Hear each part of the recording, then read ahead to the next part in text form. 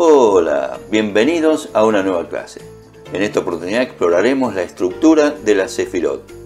Según Rabaslag, en su obra Estudio de la Sefirot y también en su obra Diez emanaciones luminosas, dice que para entender es importante eh, estudiarlas una por una y en profundidad. Las Sefirot se pueden considerar como canales o vías a través de las cuales la energía divina fluye desde su fuente infinita hacia la realidad finita, moldeando el cosmos y la existencia misma.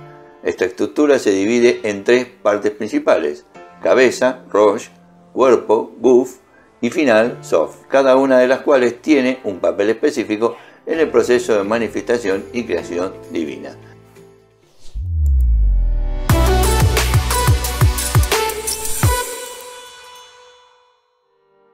Vamos viendo qué es el Rosh, la cabeza. La cabeza simboliza el aspecto intelectual de la Sefirot. Representa el inicio o la fuente de la energía y la intención divinas. En términos cabalísticos, el Rosh alberga las facultades de la sabiduría, Jogma, y el entendimiento, Vina, además del conocimiento, Da'at. Estas tres Sefirot superiores se relacionan con el proceso de concepción y planeación en el mundo espiritual, donde se forma la voluntad divina antes de que todo se manifieste. El Rosh es por tanto el origen de la luz espiritual, donde se gestan las ideas y se define el propósito de la creación. Ahora vamos a ver el Guf, el cuerpo. El cuerpo representa el aspecto emocional y ejecutivo de la Sefirot, actuando como el mediador entre la cabeza, el Rosh, y el final, el Sof. Está compuesto por la Sefirot de Gesed, que es el amor, la misericordia, Geburah es el juicio, la disciplina, Tiferet, que es la belleza, la compasión, Netzach, la eternidad, la victoria, Hod, el esplendor, la aceptación, y Yesod, el fundamento y la conexión entre el cielo y la tierra. El Guf es donde la intención y el plan concebibles en el Rosh se traducen en acciones emocionales. Estas sefirot medianas expresan las diferentes formas en que la divinidad interacciona con el mundo, equilibrando misericordia con juicio, manifestando la belleza con armonía y demás. Vamos a ver el final, el Sof. El final representa la manifestación, la concreción de la energía divina en el mundo físico y espiritual más tangible. Aquí se encuentra Malhut. Malhut, recordemos que significa el reino. La sefirá que recibe toda la influencia y la energía de las sefirotas anteriores y concreta en la realidad la manifestación.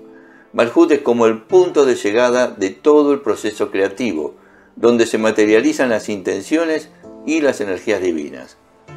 Es el punto entre el mundo espiritual y el mundo físico, permitiendo que la creación se manifieste y sea sostenida por la luz divina relación entre intelecto y emociones en el proceso creativo divino también es parte de la estructura de la Sefirot.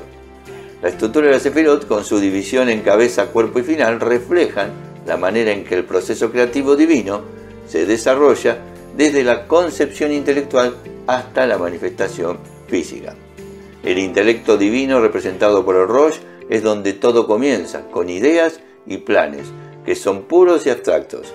Estas ideas luego pasan al guf, el cuerpo, donde se mezclan con las emociones y se traducen en acciones. Finalmente, el soft es donde estas acciones se materializan en nuestra realidad. Este proceso subraya la importancia de la integración entre el intelecto y las emociones en la espiritualidad cabalística. No es suficiente concebir planes e ideas a nivel intelectual. Estas deben ser sentidas, vividas y expresadas emocionalmente para que se manifiesten plenamente en el mundo físico. La enseñanza cabalística aquí es que la creación es un acto de amor y juicio, de misericordia y disciplina, que se equilibran para manifestar la visión divina en la realidad. Que la luz divina que emana del Creador nos guíe en el estudio y en el entendimiento de este curso. Que así sea. Es todo por esta clase. Nos vemos en la siguiente lección. Hasta luego. La Kabbalah se trata de compartir.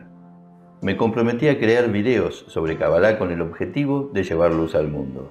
¿Tú te comprometes a compartir el video llevando luz también? Cuando pones me gusta, comentas y compartes, estás llevando esa luz y nunca se sabe quién puede necesitarla.